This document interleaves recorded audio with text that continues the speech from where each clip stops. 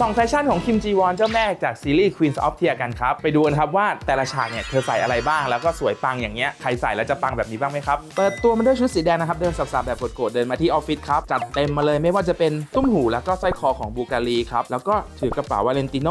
โดยตุ้มหูและก็สร้อยนะครับ เป็นคอลเลคชัน Serpenti Viper ครับ โดยตุ้มหูเนี่ยราคาประมาณ 3 0 0 0 0 0บาท ส่วนสร้อยคอก็ราคาเบาๆครับ 8 0 0 0 0บาทเท่านั้นเอง ตามมาด้วยกระเป๋าวาเลนติโนนะครับ เป็นกระเป๋าวาเลนติโนสีแดง Rockstud ราคาประมาณ 1 0 0 0 0 0บาทครับ ต่อมานะครับเป็นชุด mini dress สีดำราคาประมาณแสนกว่าบาทครับ แล้วก็ตุ้มหูนะครับเป็นของคอลอฟตัวนี้เนี่ยราคาไม่ธรรมดาเลยครับคือ 9 0 0 0 0 0กว่าบาท แล้วก็มาในชุดสีชมพูบ้างครับตัวเสื้อเนี่ยมีสัญลักษณ์ DG อย่างชัดเจนเลยครับคือ Dolce & Gabbana ตัวนี้เป็น tweed jacket นะครับราคาประมาณแสนกว่าบาทเหมือนกันครับและ look สุดท้ายที่จะมาให้ดูกันนะครับ ก็คือมาในชุด blazer สีดำแบบเท่ๆ แบบนี้ครับ ตัว blazer นะครับเป็น Alexander McQueen ราคาประมาณแสนกว่าบาทครับ ส่วนตัวตุ้มหูนะครับเป็นของแบรนด์ Bvlgari ครับ ซึ่งเป็นรุ่นยอดนิยมเลยในคอลเลกชัน Serpenti ครับ ราคาประมาณ 2 ล้านกว่าบาทเรียกได้ว่าราคาไม่ธรรมดาเลยครับ บอกได้เลยนะครับว่าการแต่งตัวของ CEO สาวคิมจีวอนเนี่ยแพงทุก look จริงๆครับใครที่อยากให้เราไปส่องแฟชั่นของดาราหรือว่าเซเลบท่านไหนนะครับคอมเมนต์กันเข้ามาได้เลยเดี๋ยวเราจะจัดให้ครับสนใจคลิปดีๆแบบนี้นะครับติดตามช่อง Dr.Brandname ได้เลย